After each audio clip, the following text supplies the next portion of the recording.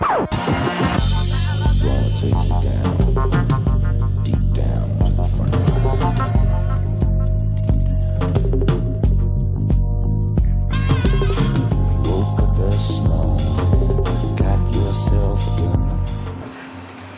everybody, this is Miss Bomey. As you can see, I'm back in the kitchen today with a recipe. Um, I hope everybody enjoyed my Sheetapalooza video, by the way. And I want to say thanks to everybody who came. And also, I want to say a big thank you to Jules, Christy, and Mary who helped me with the dinner for lasagna on Saturday night. I think we served close to 40 people. 30 something for sure. Anyways, that being said, now I got the thank yous out of the way, I'm going to go ahead and start this recipe for today. Today is a no-bake lasagna recipe. It is a dessert, a very easy one, something that you can make ahead of time. Um, what you're going to need is one package of Oreo cookies like this, okay? And then what you're going to want to do is get them ground up all nice like that. You can either use a plastic bag and a rolling pin and do it that way, or I have a food processor, so doing that made it a lot quicker in the process of getting that done. You're also going to need one cup of semi-sweet um, mini chocolate chips, okay? Uh, a fourth cup of sugar, six tablespoons of melted butter, uh, one package of cream cheese, and two packages of jello pudding. And just to let you know, you also are going to need some Cool Whip. And the container size that you want to get is 12 ounces, not 8 ounces. Kitchen bitch. But we'll make do with what we have. Okay, and then also you're going to want a tin, a pan. Um, this one uh, is a disposable one, which I thought was great because like if you're making it you just don't want that extra dish to put to wash or put in the dishwasher, that's perfect. Or if it's something that you're going to take, you know, with you, maybe to some kind of get-together and you're responsible for the dessert, makes it very easy. Okay, so to get started, we're going to move some of these ingredients out of the way here, except for the ones that I'm going to use right now. So you can uh, see what I'm actually doing here. Alright, so we're going to take our melted butter pour that right in to our Oreo cookie crumbs. Okay? And kind of mix that up.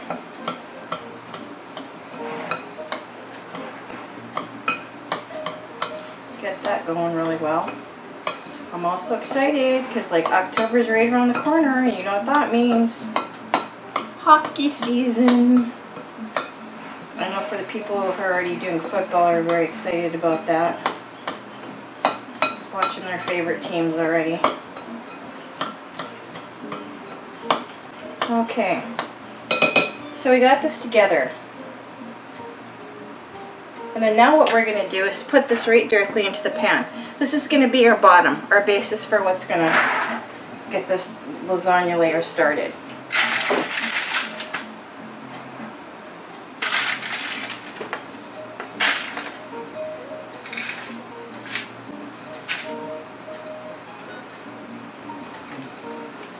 Okay. Get that all in there. And then what you want to going to do is press it down so that you get it all out to the four corners there.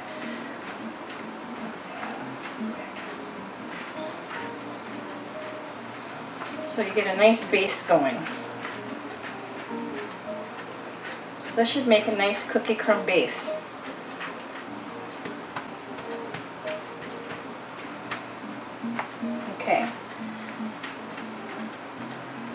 Now that we got our base down, what we're going to do is put this in the fridge for about five minutes, and then I'm going to get the rest of the ingredients together for the next part.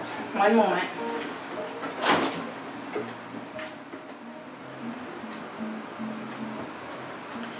Okay, so I'm back and I'm getting everything set up for the next phase of what we're going to mix.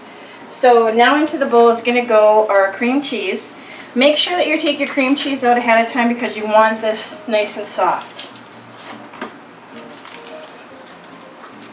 And I never can really get these packages open very well. it's like the potato chip bag, you're waiting for it to go like everywhere. Okay. Plop that in there. Make sure I got this in here all nice and tight. And it's ready to go. So now what we're going to do is just give this a mix. And then while that's mixing, the next ingredient that you're going to go ahead and add is going to be your sugar to this. But you want to make sure that you get the cream cheese mixed fairly well before going ahead and adding your sugar. So I'll be back with you in just a moment. Okay, I'm back and as you can see we got this mixed up fairly well. And I'm just going to take this off. And get rid of the rest of the cream cheese off of here in a moment. I also forgot to tell you that during this part of the process you're going to also need two tablespoons of milk also. We're getting this mixed up.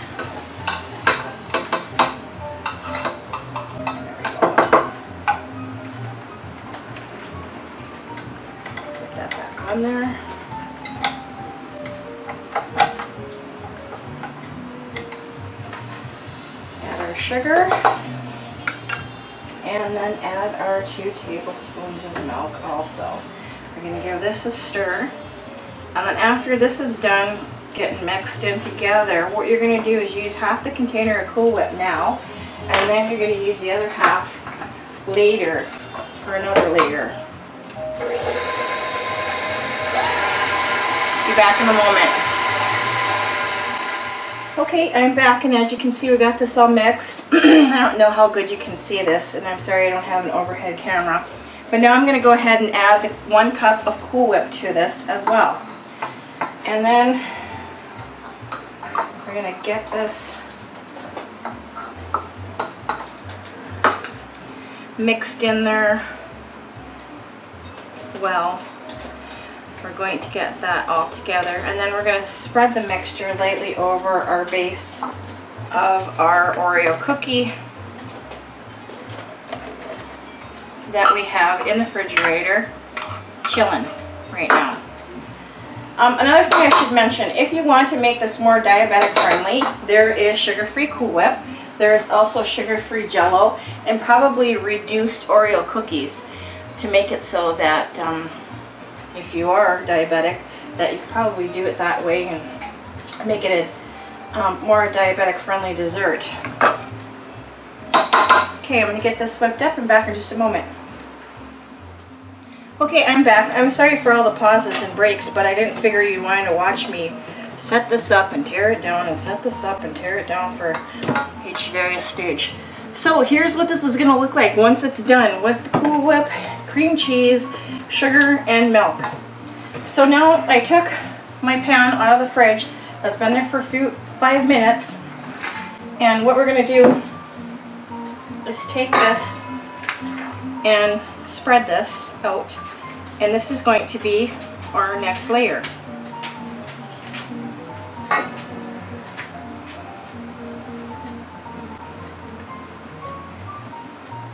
And you can see I'm getting some Oreo cookie crumb in there. And that's fine too. It never hurts, right? A little extra flavor, right? Goes a long way. There we go.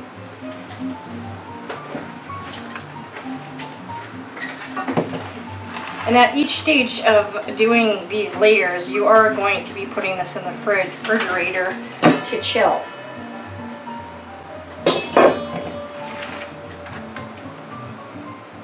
How's that looking, KB? we did make this once before, and I have to tell you, it's delicious. Mm -hmm. uh, gave a piece to my dad, who then in turn gave a piece to the neighbor. And she loved it, my dad loved it. So I'm pretty sure that just about everybody Everybody that likes chocolate and has gotten their hands on it has said it's been really good. There we go. So, just make sure that we get this all in the corner. Get the little last scoop out of here, and I'm going to put that in the sink for right now. And then, this is going to go into the fridge, like I said, and you'll want this to sit in there for at least five minutes. If it sits in there a little bit longer while you're doing your next step, no problem. You'll just give it extra time to settle. And there we go. So this is what it's looking like so far. All right, I'm gonna put this in the fridge and I'm gonna take a pause, set up for the next phase, and I'll be right back with you. Okay, I'm back and here we go. I've taken this out of the refrigerator. Okay, and it looks like it's settled a bit. So the five minutes. Um, your pudding, of course, just follow the directions, which is milk and your pudding. So, let me put that aside. I'm gonna for I'm gonna try something a little bit different this time for all those people that are a little bit of chocoholics. I'm gonna put down some some of these miniature chocolate chips.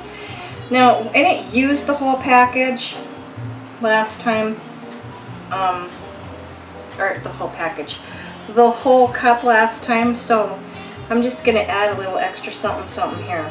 And that's the beauty of um, recipes when they're simple. You can kind of take and try something and make it your own and, you know, see if you like it. Maybe you don't want chocolate chips. Maybe you prefer strawberries or raspberries.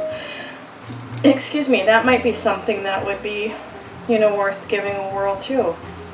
The chocolate and the sweetness of the fruit, I would think, would be a pretty, pretty good combination.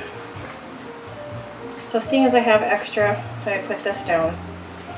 Maybe if you're making it more diabetic friendly, you might want to, I would suggest maybe using fruit or um, skipping the chocolate chips altogether. Alright, so now I'm going to go ahead and put the pudding in here and get that spread out. And this is our next layer.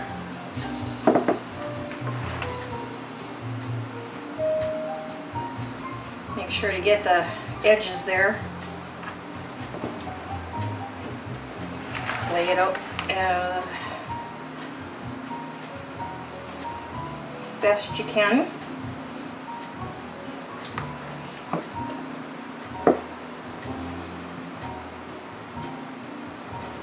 Uh, the recipe does call for chocolate pudding. I don't know if I mentioned that earlier when I was going through the list of ingredients.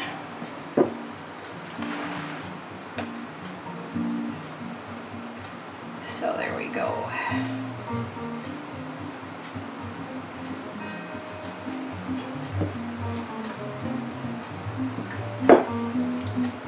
And time frame wise, since I made this before, it doesn't really take that long. I mean, there's just some, you know, some little extra steps with, you know, getting everything mixed together and incorporated together. But for the most part, it's easy and it does go fairly quickly. Okay. Let me just get the last little bit of the chocolate out of here. Let's have little bit if I miss some chocolate for those people who love chocolate. Would not be a good thing, I'm thinking. Alright, I just want to make sure to get this corner here too.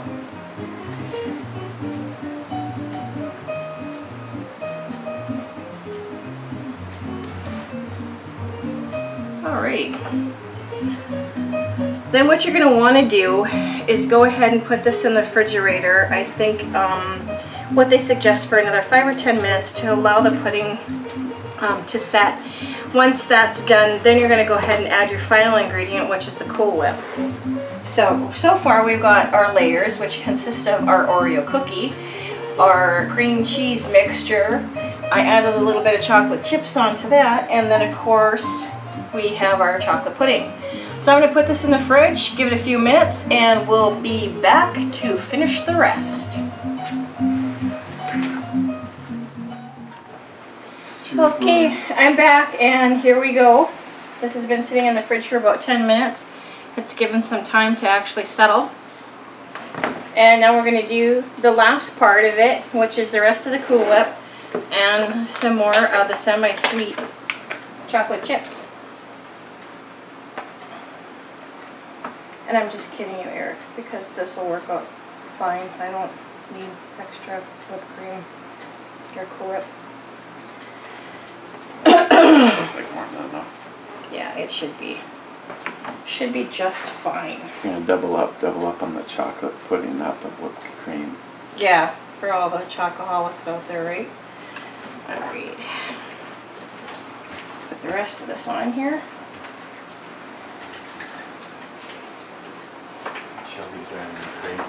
I know, she's just going in and out of the house all day long. We have like three squirrels in the backyard and I think she sees them from time to time. It's like, hurry up and let me out. I gotta go chase them. Or try to anyway. By the way, here's my retirement plan. Oh, okay. Okay, so this actually was enough Cool Whip. If you are a person who really likes the Cool Whip, then I would suggest a bigger, a little bit bigger container. If not, this will work out just fine. Okay. Alright, let me just clean up the around the sides here a little bit because I got a little bit carried away. There we go. And then the last part is going to be sprinkling some more of your semi-sweet chocolate chips on top. Once again, you could do fruit, you could do raspberries, you could do strawberries, you know, make a little less calories if for people who are watching calories and kind of want something that is a sweet type of a dessert, that would work. Or possibly, if you are diabetic, tweaking it a little bit to um, work in your favor. And instead of using regular sugar, I know that um, you can use Splenda also. I know it's something that's used quite a bit for baking and whatnot. Okay. Put a little bit in the corners here. Make sure I got it all spread out pretty good so that each time you take a bite you're going to get some chocolate chips on top Or 20. or 20 or 30. Hopefully not that many.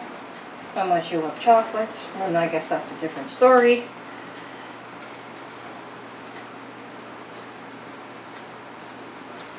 And uh, that's basically it. This is what it'll look like when it is all done. And then I would suggest putting it in the refrigerator for a while longer, just to make sure that things settle. At least give it a half an hour or so. And then yeah, you're ready to eat your dessert. And that basically is it. That is the chocolate lasagna. And I got Cool Whip on me. Sloppy today. One day I don't wear an apron. Okay. There it is. Chocolate lasagna. I hope you like the recipe and uh, you'll give it a try. And just wanted to mention one other thing too. Um, we're coming up on the end of a Hornet Fixer giveaway for a rifle. And the proceeds will go to Justin's Final Mission and what is the other organization? The, D, the DAV. DAV. So if you want more information, please, by all means, go over there, check out his channel, buy a ticket if you can. It's for a good cause. And I think that's it. More to come. Couple big ones in it. Yeah, and there's more things that are coming down the pike as we speak, but uh, those are kind of still in the planning stages. So I don't want to get too far ahead of myself. Okay, so that's it. I hope you liked the recipe. Uh, give it a whirl. Tell me what you think. And until then, this is Miss Bomey saying good night, good eats, wherever you are.